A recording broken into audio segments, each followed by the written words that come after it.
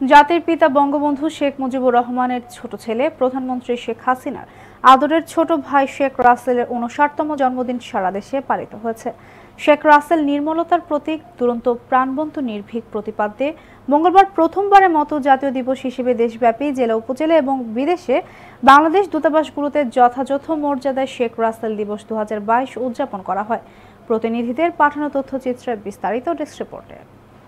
Staff reporter Mohammad Mohiuddin Azim জানান, মঙ্গলবার সকালে ভোলায় বঙ্গবন্ধু শেখ মুজিবুর রহমানের কনিষ্ঠ পুত্র শেখ রাসেলের জন্মদিন উপলক্ষে জেলা প্রশাসনের আয়োজনে একটি বর্ণাঢ্য র্যালি বের হয়ে শহরের বিভিন্ন সড়ক প্রদক্ষিণ করে।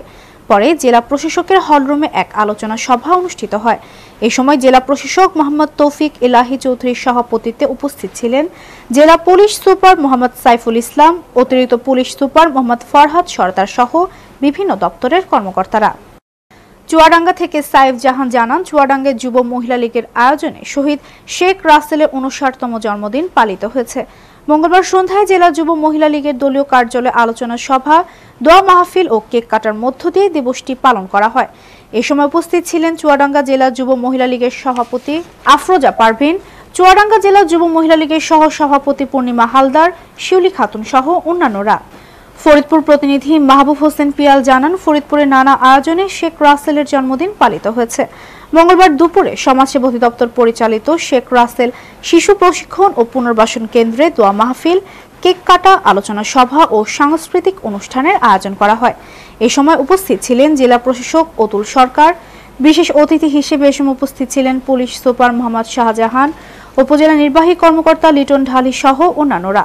দিবসটি উপলক্ষে শিশুদের মাঝে উন্নত মানের খাবার পরিবেশন করা হয়। ঝালকাঠির প্রতিনিধি এম খায়রুল ইসলাম পলাশ জানান, ঝালকাঠির রাজাপুরে নানা আয়োজনে শেখ রাসেলের জন্মদিন উদযাপন করা হয়েছে। শেখ রাসেল স্মৃতি সংসদ রাজাপুর উপজেলা শাখার আয়োজনে মঙ্গলবার বিকেলে আলোচনা সভা ও কেক কাটার আয়োজন করা হয়।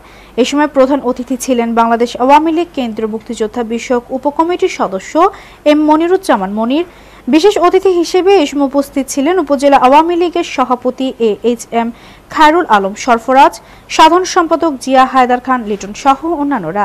News desk, CNN Bangla.